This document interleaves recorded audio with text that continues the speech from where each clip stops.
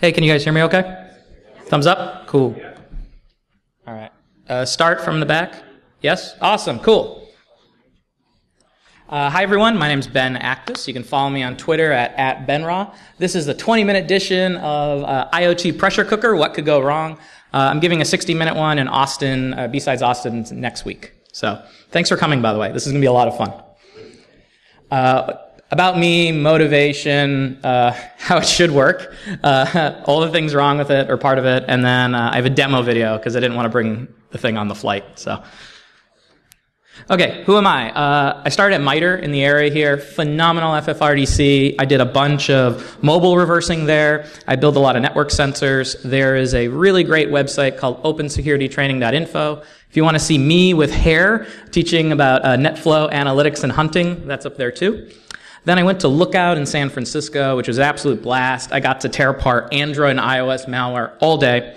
Uh, and most recently, I'm at Synack. And for those that don't know, Synack is like a combination uh, bug bounty program, Vuln scanner, and what I do is I build all the mobile attacking tools, which you'll see from the talk. Uh, so what we do is I uh, all the tools that how do you at scale reverse, statically look for vulns, and dynamically look, look for vulns. And I also tear apart a lot of IoT devices before they come to market too. Uh, at night, I'm a troll on Twitter. I do own a side business called Cyber Merchants of Death. So if you want training in any of these things, come talk to me after the talk. So, all right. Uh, my work did fly me out here, so I'm going to do a quick pitch. Uh, if you like bug bounties, if you like attacking mobile apps, web apps, hosts, go sign up. Uh, bug bounties, we pay them. Uh, only difference is we do a kind of little technical assessment. So if you say you know how to hack web apps before you let you touch a customer's uh, web app infrastructure, we make sure you know your stuff. Uh, it's a smaller crowd, and what I like is the payouts are really fast because it's only one group of people vetting them, and uh, because of that, it's a smaller kind of uh, competition circle. So please go check it out if you like this stuff, especially students in the audience too. Okay, how did this come from? Who's heard of the Internet of Shit Twitter account? Couple people. so this really was the, the inspiration. Um, I saw this on Twitter and I'm like, this is funny. And uh, I don't know if you can see in the bottom, but someone made a funny little dad joke that basically said, is the next like IoT botnet going to be a potnet? And uh, I liked it, right? Yeah. Um, so I started looking at it. And this is literally five minute findings. Like I'm not exaggerating this. So within five minutes, I just started grepping around in the mobile app and I saw they're sending things over HTTP. And I'm like, that's weird. What are they downloading? And they're downloading these .cooker files. And don't worry, I explain how all this stuff works. And I'm like, huh, what's a .cooker file? So I unzipped it. it's just a zip file.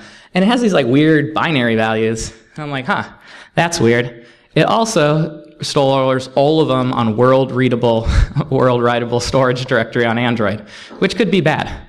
Uh, so anyway, I sent my boss an email, and I was like, Patrick, plain text communication sends executable code, stores executable code in a directory anyone can touch. Pretty sure I give a talk on this. Can I buy it? And he's like, absolutely. This will be fun. So, like any good uh, security researcher person, uh, we sent a disclosure letter. So here's my company letterhead. Uh, I talked to legal, and I wrote a letter, and I was like, hey, uh, Dear Instapot, you have an application, uh, an IoT app. You send data insecurely, you store data insecurely, and we're pretty sure we can modify temperature, heating, and timing and pressure remotely. Right. And they don't really have like a security team. So I sent it to like the general help desk queue. oh, it gets better, guys. Um, so it sat there for 20 days. And oh, also we said like if you don't respond in 60 days, we can go public, right? So uh, sat there for 20 days, and then Nancy S closed it without saying anything. So I went to like our attorney, and I was like, "What do I do?" And he's like, "Oh, ping him again." I'm like, "Okay." So I opened it up, and I was like, "You still haven't patched it." And like as a week ago, it's still not patched. If you want to play with this later. Um, and Nancy closed it the next day without saying anything. So, right here's a talk. Regular use cases. So it's pretty simple. The idea is you like unbox this big pressure cooker. Um, you sync over Bluetooth Low Energy. Then you launch your little mobile app. Uh, you select a recipe.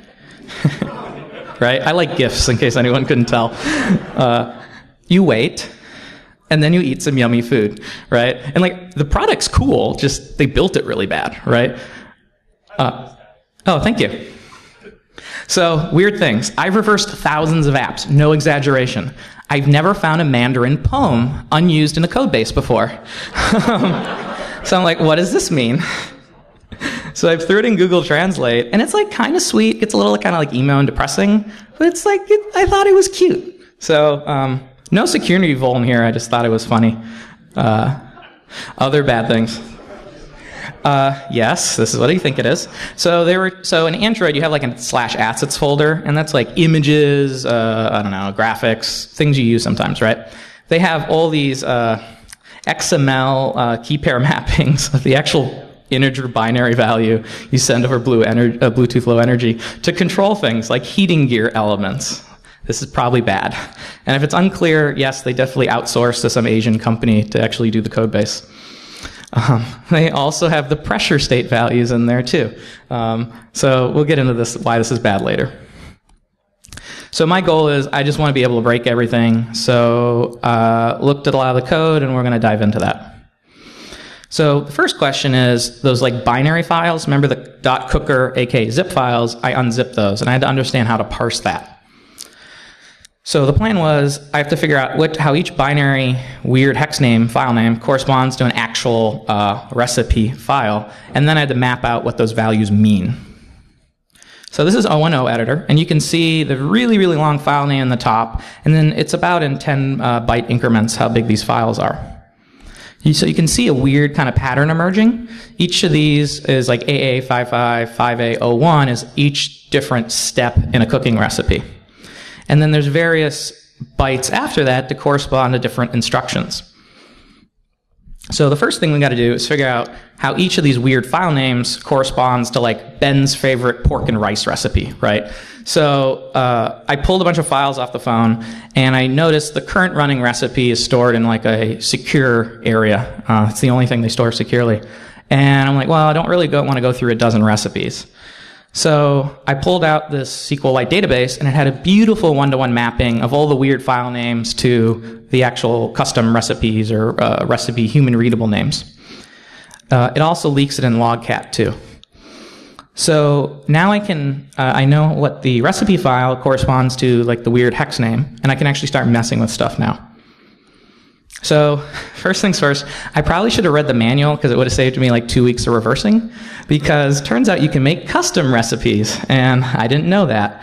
And uh, what's nice about the custom recipe is they have things like heat for a period or heat to a pressure. And I was literally in a four hour car ride with my girlfriend, and I made every variation of every single step. And then I just diffed all the files, and it was super easy. So uh, this is the only hardcore reversing part of this of the talk. But basically how it works is when you make a custom recipe, it looks for a string and it's a bunch of if statements. So if it sees something like heat for a period, it calls for the appropriate method. And that meth and then there's methods for every single instruction, right? And each have different integer values. And then it calls a build command. So this one, build heat for a period, throws a 14 into that build command method. And that there takes a hash map and converts that to a big giant byte array that then gets thrown into uh, the Bluetooth low energy kind of functions. And I'll get into more on this in the Austin talk. So let's look at the custom recipes. First things first, heat percentage. So at offset 0D, that's what's actually doing uh, the heating percentage. So you can see it goes 4, 8, C, and then 10 there, right? And that's basically when you want like a little pressure cooker to stay at a certain heating percentage. So this doesn't really do much, right? Uh, time modification is a more fun one, right? So, oh, by the way, anytime you see the little evil baby, that's ways you can mess with someone's recipes remotely. Um, so you could easily like take some of these pre-made ones, which we get into the attacks later on, and undercook or overcook food because you know where in the offset to change these instructions, right? So like my friend Willie's in the audience. If Willie has his favorite chicken rice recipe and it cooks for 30 minutes, I can make that cook for like one minute or like 100 minutes, right? So that's kind of fun. LED settings, I couldn't make it do any cool emojicons or anything, um, but it's just like they're at offset 0E. So other fun stuff. Heat to a temperature was cool. So like my first thing is like I want to make this thing blow up, right? Um, unfortunately, the max value in the GUI is 284 degrees Fahrenheit, and it is the max uh, byte value I can put in there. But the lowest GUI value is 86 degrees Fahrenheit, and that's only 39 in the hex. So you could do a lower value, which is pretty cool. Um, so that's kind of interesting. Uh, pressure, low versus high. The only officially supported values in the app is 20 and 30, but they don't do kind of any error checking, so you could kind of throw these weird values to change like weird states, and that's a, for future work too. Um, LED settings. So I talked a little about this a few slides ago. There's actually a bunch of others in here, and I'm still kind of systematically mapping out like unknown ones. So there's like none, hot, up, down. There's also like yogurt, food, and a few other weird ones, right? Um, but there's a bunch of bytes that I have to try for every instruction sound options. So you, if you want to play like obnoxious Game Boy sounds, here's what you change. Um, and again, you see it's weird. It's like 20, 40, 60, and then 4. Um, it's not music. It's like 16-bit sound files. It's really gross. Um, so you can do that too. And the rest are just static values. So we know how to control timing, right? we know how to control temperature.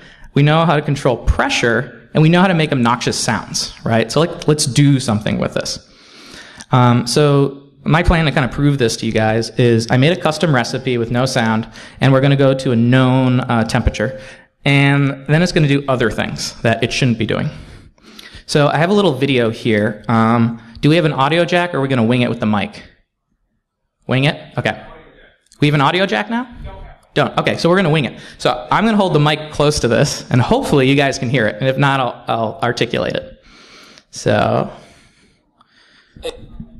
Hey everyone, Hear I'm that? Ben Actis, and here is Yes? going to be kind of a, a test case of the little IoT pressure cooker behind me.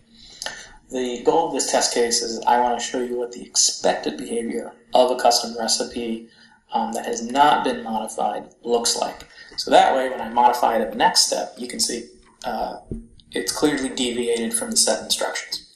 So first things first, um, I have the pressure cooker synchronized over Bluetooth Low Energy with a Nexus 5 test phone right here.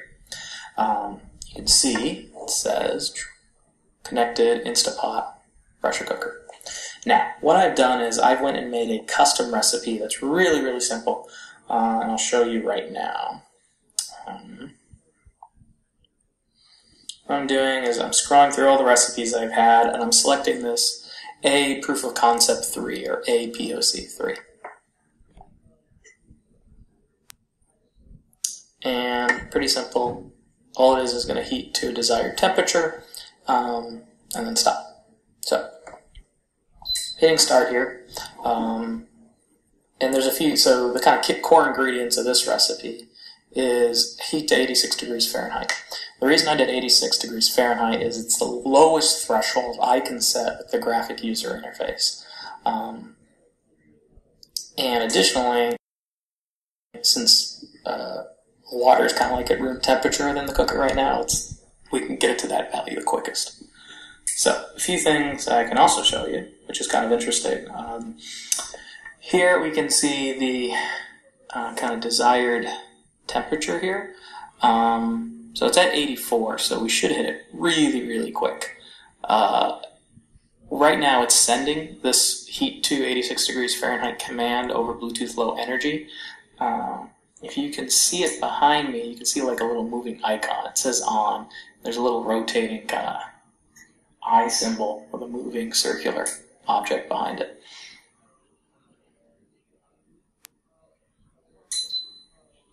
So, boom, off. That was it. Pretty simple. It hit that degrees. Okay, so that so that's what should happen. Okay, now I mess with stuff, and you'll see different things. Uh, so again, quick things because um, it's only 20 minutes. I have to cut a, lot of the steps, but uh, modify the files. You could e- either do this in downloading or because it's on a shared directory. And I changed the attributes, and I just threw it on the phone, and we're going to click that same recipe again.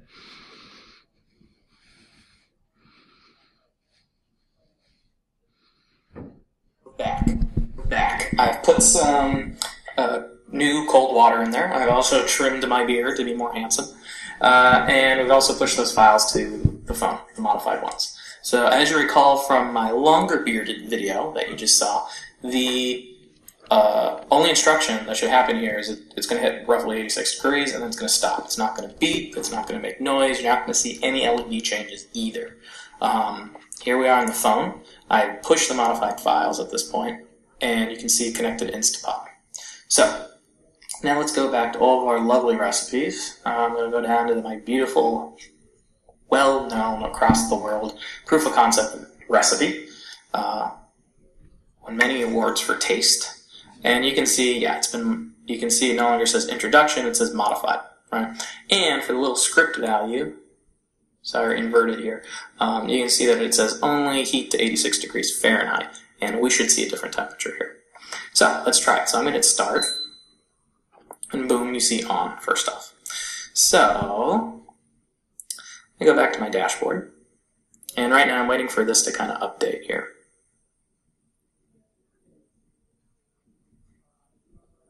So while I'm waiting to update, uh, we can go through a few kind of attack scenarios with this, right? So the first thing is, um, oh, you can see on, and you can see cool heating level step one of three, which is really really cool because our original instruction was only one step. So now you can see three steps are happening. Yeah, heat to 125 degrees Fahrenheit, which is not 86 degrees, which we put in. So boom, we can actually control stuff here. Pretty neat right? Um, now, a few things, right? So we did kind of cheat a little using a rooted device, so I could easily figure out what recipe I wanted to modify. Now, if you didn't really care, you could modify all of them, right? The actual recipe files themselves are stored on that shared directory, so you could do it there. Another trick you could do is also modify it in transit when it's downloaded, because these files are just sent over plain text HTTP, it's just a zip. It doesn't check integrity, which we've obviously proved. Um, so yeah, so the good news is you can't set it at a higher temperature than what was intended, right? It still max out at 284 degrees Fahrenheit. However, you could do a lot of obnoxious things. You could uh, cook to lower values. You can cook to uh, play obnoxious sounds. You could end early. There's a lot of things you could do in that regard. Um, so yeah, Right, 122 degrees. It should stop at 125-ish. Uh, and then you're going to hear a couple beeps, and that'll be our very clear indication that this this has been modified. Cool. See, it also says behind me food. Uh, trying to point at the thing right there. Right, that was not in the original instruction either. And this one should also, I think, wait for another minute, and then it's going to make some more beeping noises behind me. So yeah, clear demonstration, we're changing the commands, which is pretty cool. Um, I haven't been able to get to explode, but you could under cook food, you could change things that doesn't cook, could ruin food. So, um, yeah, pretty neat. Um, and the fix is actually pretty easy for these guys. All they have to do is, um, you know, don't store stuff in the SD card and do things over HTTP. Anyway, thanks for that. So, what else do I got here? Yeah, like I said, man in the middle. If you're a network attacker, you could mess with this a bunch. Um, the other thing I was thinking on the flight, like I could make like a potnet or like ransomware or like I ruin your food until you pay me money. Um, which could happen, right? And then based on this, I'm really hesitant how they're keeping track of state. So um, I even I've just scratched the surface on like sending malicious BLE input to this thing. Um, so yeah, there's a bunch of other things. So we have about a minute left. Uh, so I'll take questions, and then for future work. Uh, you could totally make a Metasploit plugin for this, which would be really cool. Um, and then I mentioned the fuzzing, the actual Bluetooth stack. So thank you for your time. I had fun. Um, and yeah, uh, I'll leave it up. Thanks. Cool.